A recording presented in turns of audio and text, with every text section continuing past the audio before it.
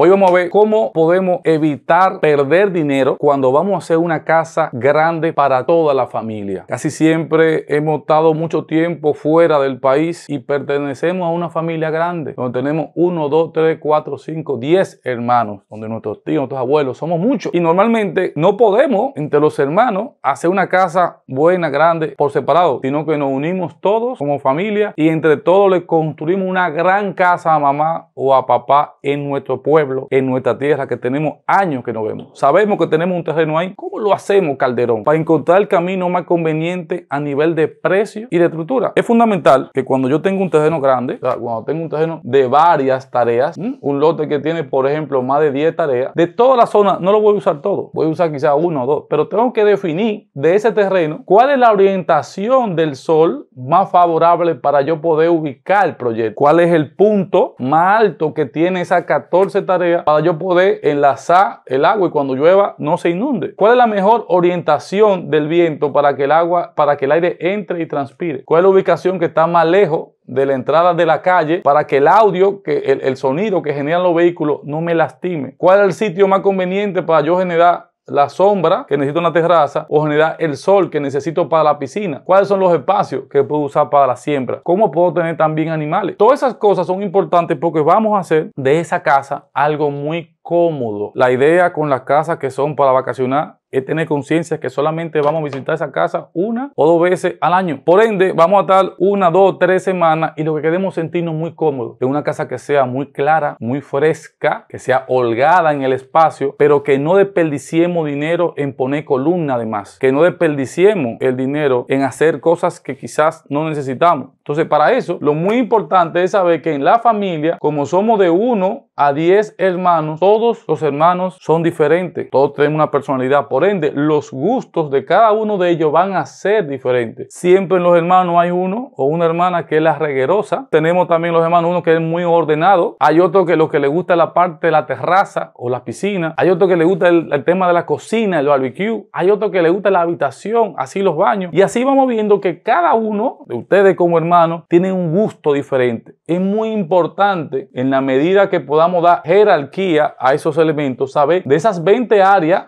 que va a tener la casa, cuál es el área número uno y cuál es la menos importante. De manera que el dinero que vaya entrando lo vayan distribuyendo en las cosas que son más fundamentales y dejar de último, ok, las cosas que son menos. Por ejemplo, si yo sé que cuando hagan una Navidad, ok, o vengan en verano para acá, para esa casa que va a estar en Puerto Plata, en Samaná, en Asua, en Baní, donde se encuentren, o en sus pueblos, en Costa Rica, en Perú, en Colombia, cuando vengan de retiro de, a pasear a su país de Estados Unidos, pues lógicamente sabemos que lo que vamos a estar son dos semanas o tres semanas. Si voy a estar dos semanas, no puedo hacer una habitación con un walking closet muy grande, porque no voy a vivir ahí, no voy a estar ya 10 años. Entonces hago un walking, un, un closet básico y el dinero que iba a perder en este walking closet se lo coloco aquí a la terraza, que es fundamental para uno de los hermanos. El dinero que iba a perder en hacer un closet grande, que iba a estar vacío, se lo coloco entonces mm, a la cocina, que es fundamental para mi mamá, que le encanta la cocina. O el dinero que iba a perder en ese closet se lo coloco entonces a la galería, al balcón, al family a las cosas que nos devuelven la vida, que normalmente son las cosas que no tenemos en nuestra casa día a día tradicionalmente. Entonces yo espero venir a esa casa familiar, a disfrutar en familia y siento que quiero que sea muy cómodo. Otra cosa importante es saber que donde también perdíamos dinero era en que habían espacios residuales como la cisterna.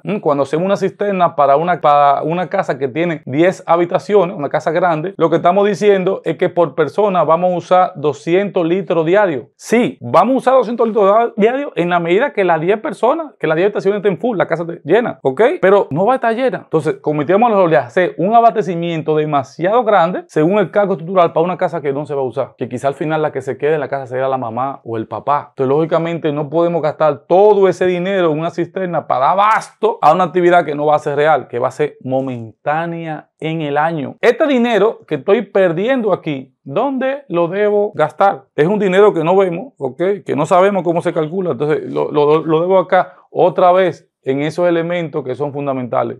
Lo gasto en cerrar el terreno para que me dé más seguridad. Lo gasto en agrandar la piscina lo gasto en hacer una cocina fuera, en el exterior. Lo gasto en hacer un concepto más abierto en esas cosas que son fundamentales, no para uno en la familia, sino para todos. Así también, como sé que la familia no se trata simplemente de mí, de mis hermanos, también tenemos los hijos y los sobrinos. Entonces es muy importante que aunque ellos no pongan el dinero, también sean tomados en consideración para esta casa que va a ser para todos. Si yo coloco la piscina en una zona donde los niños pueden disfrutar y yo lo puedo ver desde la terraza de la cocina, pues esto a mí me da paz, pues entonces puedo disfrutar de la, de la casa. Pero si me coloco la piscina en un punto donde no lo puedo ver a terraza o el comedor, me da incertidumbre porque los muchachos se me pueden hundir, ¿ok? Me da incertidumbre porque me pueden, puede pasar un accidente. Entonces ahí necesito también saber eso. Ellos como tal también tienen que ver que también en la casa no solamente tenemos los hijos, ¿ok?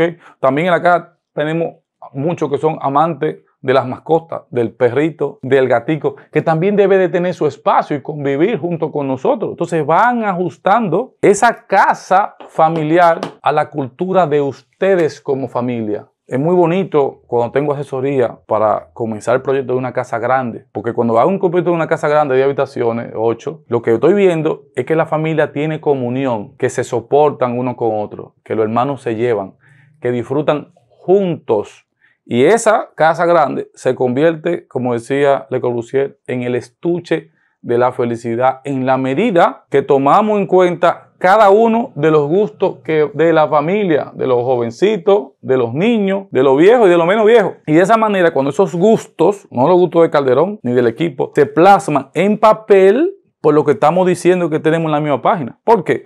Porque lógicamente, cuando veo la asesoría y comienzo a hablar con todos ustedes, ¿ok? Veo que de los cuatro hermanos, los cuatro me están hablando de una casa, pero estoy seguro que cada uno de ellos en la mente tiene una casa, se le imagina diferente. Cada una de las hermanas se imagina la cocina diferente. Cada uno de los hermanos se imagina la terraza diferente. Los muchachos, entonces, ¿de qué manera yo puedo encontrar el punto exacto. Es que con todos esos conceptos, con todos esos gustos que se pueden comunicar a través de fotografía, se pueden comunicar a través de ideas, de conceptos de fachada, de piscina, de terraza, de baño, de que vemos en internet, pues podemos hacer algo no igual, sino muy parecido. La idea es poder comunicar eso y convertir ese concepto al papel y ya en el papel que cada uno de nosotros vea en ese layout cómo va a ser esa casa. Y juntos vamos nutriendo el concepto de idea. De manera que no desperdiciamos el dinero en cosas que son poco importantes en fallos estructurales como la cisterna, como en colocar columna de más, como en, como en no colocar la habitación del sol correcta, como en no colocar la habitación del viento correcta,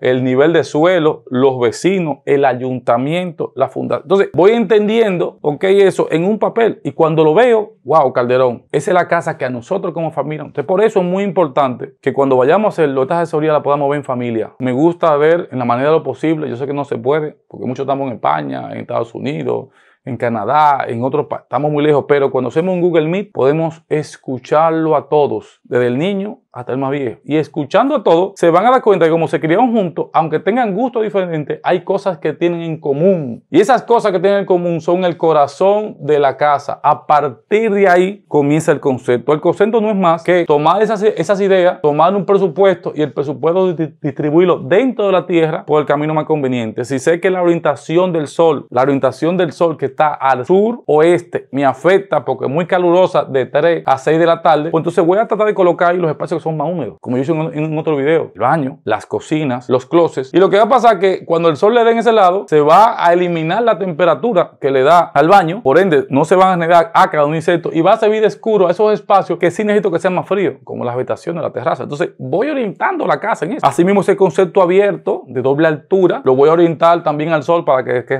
la casa sea más clara, para que no tengamos espacios oscuros. De manera que esta casa entonces va adaptándose al tipo de suelo. Si tenemos terreno irregular, inclinados al tipo de cimentación y también tenemos los gustos de ustedes, a la fachada, a los espacios. Cada espacio, ok, me dicen Calderón, yo quiero un espacio grande. Y todos coincidimos en que un espacio grande es un espacio cómodo, pero ¿qué es grande para mí? Por eso es tan importante hacer el layout, porque para mí o para muchos, que se criaron quizá en una casa compartida, cualquier habitación se parece grande. Pero para el que se crió, se, crió, para el que es hijo de un presidente y se crió siempre en una mansión, cualquier espacio pequeño. Entonces es muy importante categorizar, dimensionar todos juntos los espacios para que el presupuesto no sea grande. En la medida que yo sé eso, pues voy a ajustar la casa cómoda sin pasarme del presupuesto. Y ahí pueden lograr el camino más conveniente. En el presupuesto es muy importante que lo vean por etapas. Y la primera etapa del presupuesto es poder hacer la estructura, la obra gris. Es lo que me ayuda yo poder construir la casa y dejarla sola y no le pase nada. Y así voy poco a poco tratando de llevar la casa en la manera posible sin financiamiento. Y hacen un financiamiento muy importante, toma en consideración el financiamiento que le da el Banco of American, el Banco, el Fargo, el Chase, los bancos que están fuera, que quizás tienen una tasa mejor que otros bancos. Entonces esto puede ayudar a que ustedes, a través de un refinanciamiento o a través de dividirse el costo de la casa en todos los hermanos,